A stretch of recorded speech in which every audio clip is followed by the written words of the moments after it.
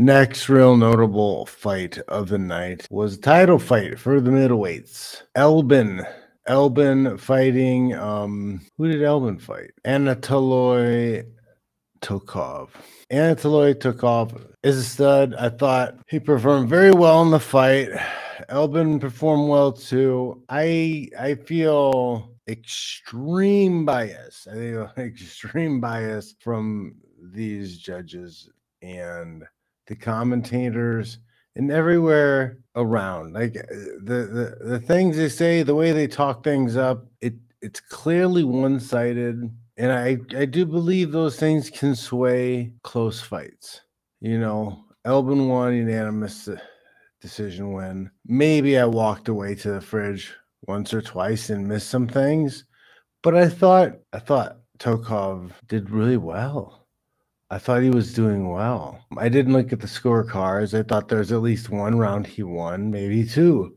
So I don't I don't know. I guess five round fight.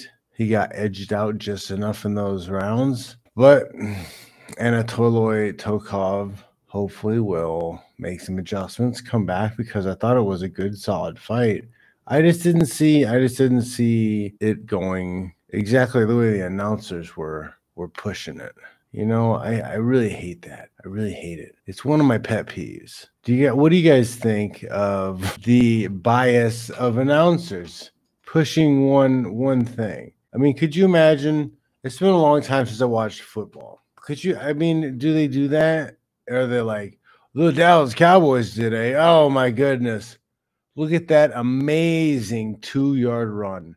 Wow you don't see too many efforts like that these days. Is, is, that the kind of stuff they do just to kind of push that team? Oh my goodness. The Cowboys had their 37th pass attempt today. Zero receptions, but man, quite convinced that Johnny Elben is the best middleweight fighter in the world. Bold world words, bold words. Someone should place a wager with this man.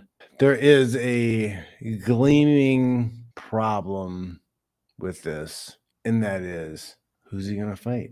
He's locked into a contract with the UF with with Bellator unless he can get free and fight higher competition because UFC tends to have they have usually nine out of the top 10 guys in each weight class.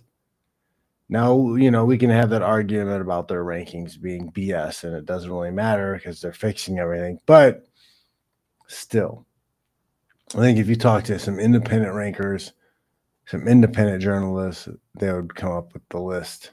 And it would be nice to see Johnny Elben own his title or own his rank and use the ownership of that rank to challenge a higher rank so we could have an actual world title not a piece of jewelry awarded to the best fighter that night. Suckers.